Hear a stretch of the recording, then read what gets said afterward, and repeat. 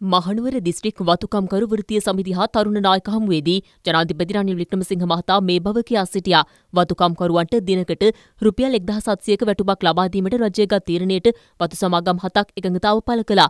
වත්මන් කම්කරු අමාත්‍යවරයා ලෙස එළඹෙන සඳුදා පඩි පාලක සභාව කැඳවා මේ පිළිබඳ තීරණයකට එළඹෙන බවත් අවශ්‍ය නම් විශේෂ නීති ගෙනීමටද තමන් සූදානම් බවයි ජනාධිපතිවරයා ප්‍රකාශ කළේ. මැති ඇමතුරුන් කිහිප දෙනෙකුම මෙහිදී අදහස් දැක්වුවා. අද ජනාධිපති අපේක්ෂ කරනවා 20කට වඩා. එදා රට බාර ගන්න කියනකොට කවුරුත්ම බාරගත්තේ නැහැ. ඔබතුමා තමයි බාරගත්තේ. දැන් අද විශේෂයෙන්ම රට හොඳ තත්ත්වයකට ඇවිල්ලා තියෙනවා. ඔබතුමා ගැන අපිට විශ්වාසයක් තියෙනවා. මේ රට කොහොමද ආර්ථික තත්ත්වයෙන් ගොඩගත්තේ? ඒ වගේම ඉදිරි කාලෙත් ඔබතුමාගේ විශ්වාසය තියෙනවා. මේ රට ගොඩ ගන්න පුළුවන්. ඒ වගේ වතුකර ජනතාවට විශේෂ වැඩපිළිවෙලක් ඔබතුමා ගාව තියෙනවා. මුන්වහන්සේලාගේ තියෙන ඉඩංවල ප්‍රශ්න විසඳන්න අපි අවශ්‍ය කටයුතු කරනවා කියන එක මේ අවස්ථාවේදී සන්තෝෂයෙන් මතක් කරනවා. එසේම මේ එන ජනාධිපතිවරණයේදී අපි පක්ෂ පාට ભેදයකින් තොරව, ಜಾති ආගම් ભેදවලින් තොරව රට ගැන හිතලා, තමන් ගැන හිතලා නෙමෙයි, තමන්ගේ පක්ෂය ගැන හිතලා නෙමෙයි, රට ගැන හිතලා ඡන්දය පාවිච්චි කරන්න. අද වතුකරේ ඔබතුමාලට වැටුප ලබා දීම පිළිබඳව ඒ අවශ්‍ය වැඩපිළිවෙලක් හැදුවනම් වතු සමාගම් එක්ක හැප්පිලා හරි ඔබතුමාලට ඒ ප්‍රතිලාභය ගෙනත් දෙන්න කටයුතු කරා නම් ඒ කටයුතු කරේ වෙන කවුරුවත් නෙවෙයි වර්තමාන රජය. ඉදිරි අවුරුදු පහ කියන්නේ වතු කරේ අපිට ඔබට සියලු දෙනාට එක සිංහල වේවා දමිල වේවා මුස්ලිම් වේවා සියලුම දෙනාට හයිය ශක්තිය ගොඩනගල වැඩ කරන්න පුළුවන් අවුරුදු පහක් බවට පත් වෙනවා. මම අමාත්‍ය ධූරයේ දරපු වසරක කාලය තුලදී මහනුවර දිස්ත්‍රික්කයේ වතු යටිතල පහසුකම් සංවර්ධනයට රුපියල් මිලියන 160ක් වෙන් කළා. වතු කම්කරුවන්ගේ වැටුප් වැඩි කිරීම වගේම තවත් වැඩසටහන් රැසක් ක්‍රියාත්මක කරමින් මෙම ජනතාවගේ ජීවන තත්ත්වය උසස් කරන්න ජනාධිපතිතුමා පියවර රැසක්ම ගෙන තිබෙනවා. ඒ විතරක් නෙමේ වතු කම්කරු වැටුප් වැඩි කරන්න ජනාධිපතිතුමා තවත් පියවර රැසක් අරගනිමින් සිටිනවා.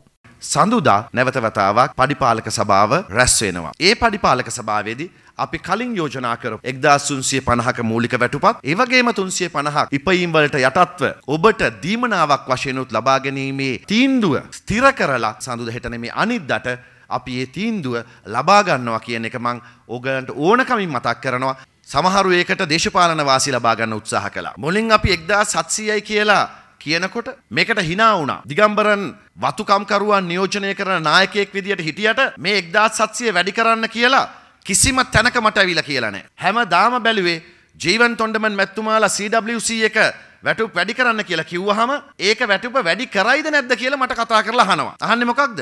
ඒ කියන්නේ මේක වෙයිද නොවේද? බයේ හිටියා වතුකම්කරුවන්ට පඩිය හම්බ වුණාම තොණ්ඩමන් මැතිතුමාලා ශක්තිමත් වෙයි. එහෙම වුණොත් අපි වැටෙයි කියලා හැම දිස්සෙම මේකට කකුලෙන් ඇද්දා.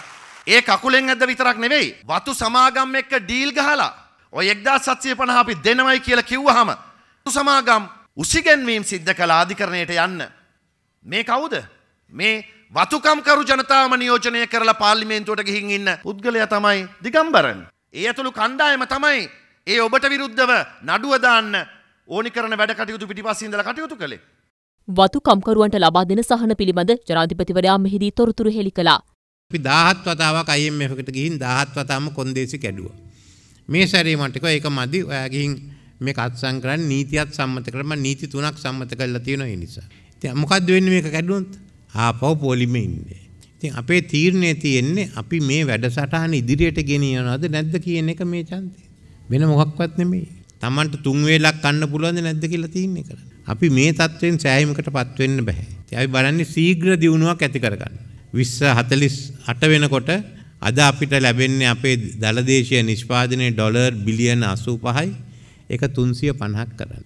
අවුරුදු 5න් 5ට අපේ ආදායම් වැඩි වෙනවා. තුන්වෙනි එක තියෙන්නේ Taman නායකයෝ හොයනවද ඔලිම්පික් එකට දුවන අය හොයනවද කියලා. මොකද මේක බාර දුන්නාම දිව්වනම් එහෙනම් එයා යවන්න පුළුවන් ඔලිම්පික් එකට. අනික් අය යවන්න තියෙන්නේ රට බාර ගන්න. දැන් තව කරුණු දෙකක් තියෙනවා. එකක් අවුරුදු ගණනාවක් මේ EPF ගෙවලා නැහැ. ඒ නිසා එන අවුරුද්දෙන් ඉඳන් ගෙවන්න අපි බලාපොරොත්තු වෙනවා.